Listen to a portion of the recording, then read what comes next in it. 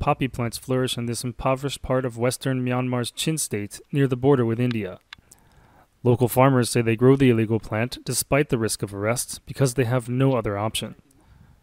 Poppies are used to produce both opium and heroin.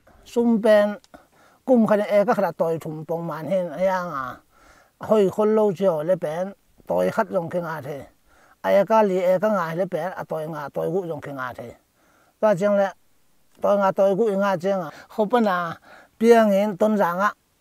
Anh rồi in khát lấy sinh ra xuống lên in khát cái bol tôi chăng à mi tung á. Khăn gol pa to cái bạn na cái bạn à, na he chỉ to sinh ra xuống cái số in khát cái bol cycle khát cái lấy, khát cycle khát lên cái lấy tôi to tôi là tắc chỉ liang nên anh gì là hội lâu mình ta tham salwa computer lạ công gì nông pen hi dạ hi dạ cha tận man zo phật vệ vệ hi trình cây leng với chị đừng chị tỏ ayang a à ao quả mom tuần kỳ hâm sa sa tek tek to chang hau na di chi thara azon à lo om cùng computer bangin asa à du khong tinan khong tho bat pen chi khong.